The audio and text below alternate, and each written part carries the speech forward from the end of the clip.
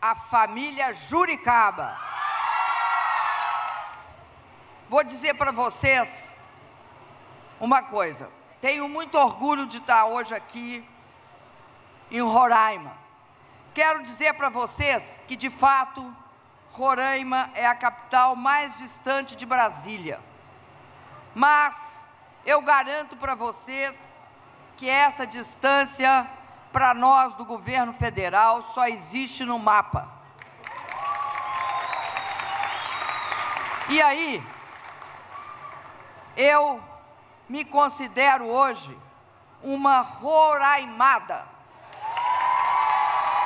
Roraimada.